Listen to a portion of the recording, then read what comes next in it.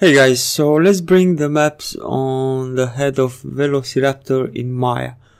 Uh, I have almost the same settings like in 3ds Max, like I have an HDRI and also some lights from uh, the left and one is from top view. Uh, let's go actually in perspective so we can see better and for the settings uh, I usually go for the same like in 3ds Max. I have the HDRI size and also uh, depending on your computer I kept it to 80 uh, max subdivide and then uh, GI on brute force and light cache. Let's bring our model low poly model so import and I have it on desktop. So let's search. Okay low poly. And there you go we have the head. I have the head. Let's select it.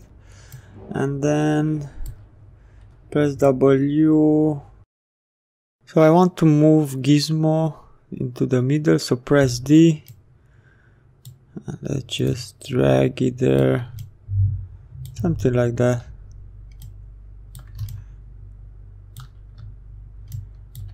and now we can move it to the left. And maybe to the back. And now let's go to camera.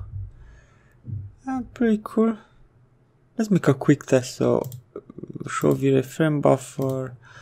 Uh, let's render. I did already a quick test. That's pretty decent I actually move it like this on my test. I move the camera. So let's do it again. Better and what I want to do is to select this first. So I think I'm in the edit mode yes. So right click and let's go to object mode and now we can yes we can move it around. So let's select the cage head and let's go to mesh. And let's go to smooth and let's apply one. Close. I think I'm going to go for two. Better let's select the interior mesh smooth and let's keep this one for one. Close and now let's go to frame buffer and let's render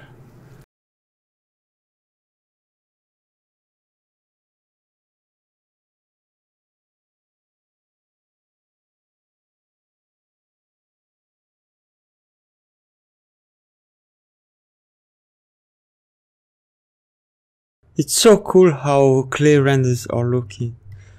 So I can leave it like this, it's better than texture. Anyway, let's close this one. Uh, I already have my maps, and interior from Substance Painter that I made on 3ds Max. And let's go to Hypershade.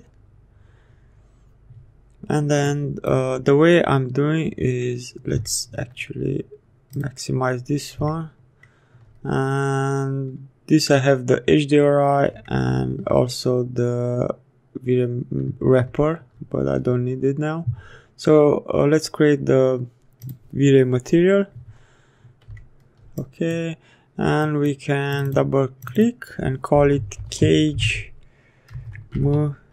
mtl material and then let's go to cage and let's see select all maps and just drag it to hypershade let's move this one to the right and let's see. We have diffuse. Let's bring this one over here. We have glossiness. And then we have height map. IO air normal. And reflection. So I don't think that I'm going to use height map. So I'm going to delete it and let's move it over here so diffuse we can connect it to color. Uh, reflection to reflection color. And this one let's minimize this hmm, and then double click. Let's go to attribute. And we need to bring with uh, middle scroll uh, mouse to reflection glossiness. There you go. IOR uh, we need to unlock lock Fresnel IOR like this. And then the same with the middle scroll mouse drag it to Fresnel IOR and then uh, normal we can just uh, drag it no the same into the map for this one I'm just going to change it to tangent space. And there you go we have our material. So let's select the head right click assign and cage material. Let's close this one and let's go to V-Ray frame buffer. Let's go to a small region and render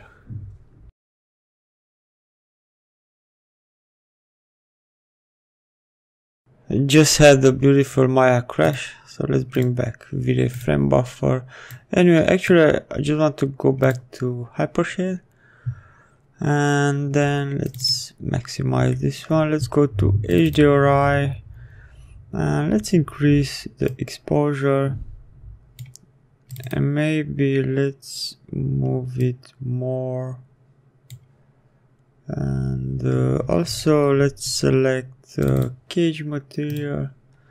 And let's go to uh, reflection amount. Let's decrease this one. And also we can increase metalness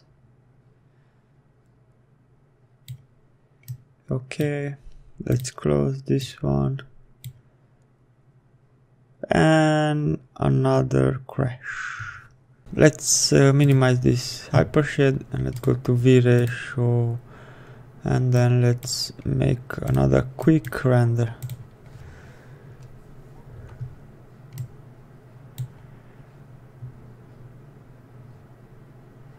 And once again depending on your light uh, next time I guess I'm going to use the same light.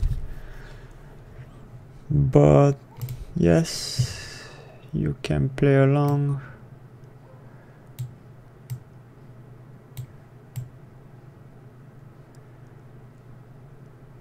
there you go we have some more contrast.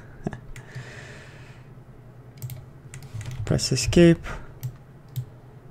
And let's bring back hypershade and let's create another V-Ray material. Let's move this one over here. And let's go to interior. Let's select all map beside height. You can use height map on uh, V-Ray displacement if you want. So let's move map. So that's IOR this is reflection and this is diffuse. Let's drag this to color. And this one let's move to reflection